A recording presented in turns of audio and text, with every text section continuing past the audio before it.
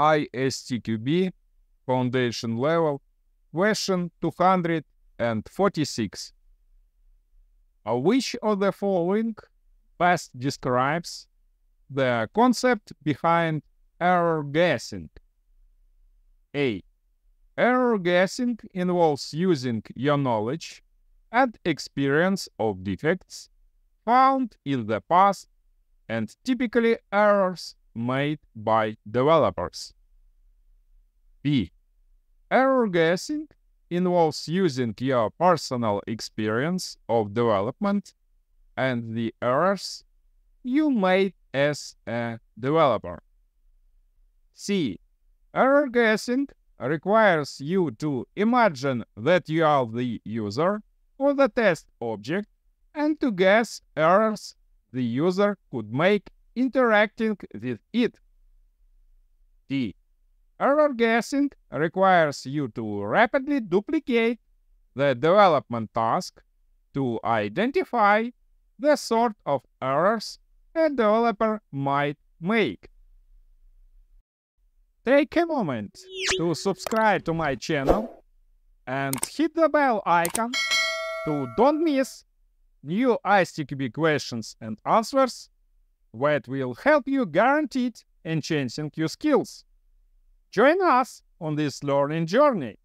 If you find value in that I do and my videos help you, then you have the option to donate through the links in the video description to I can release new videos on ISTQB questions on a regular basis. Correct answer is A, according to ISTQB syllabus.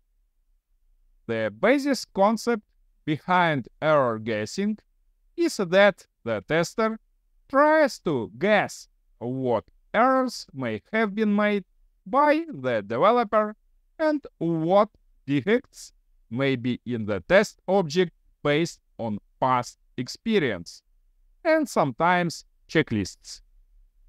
All the rest of the answers are wrong. Answer B is invalid. Although a testers who used to be a developer may use their personal experience to help them when performing error guessing, the test technique is not based on prior knowledge of development. Answer C is invalid. Error guessing is not a usability technique for guessing how users may fail to interact with the test object.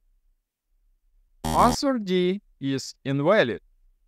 Duplicating the development task has several flaws that make it impractical, such as the tester having equivalent skills to the developer and the time involved to perform the development. It is not error guessing. My recommendation please memorize all test techniques and examples of how to use them to pass the CTFL exam. Explanation.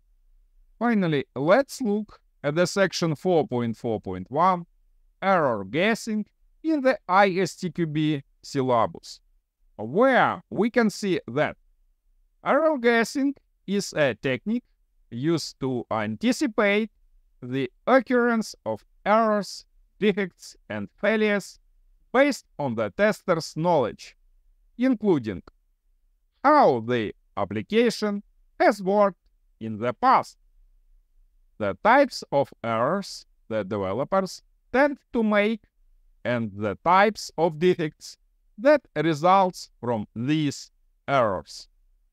This is fully consistent with the correct answer A.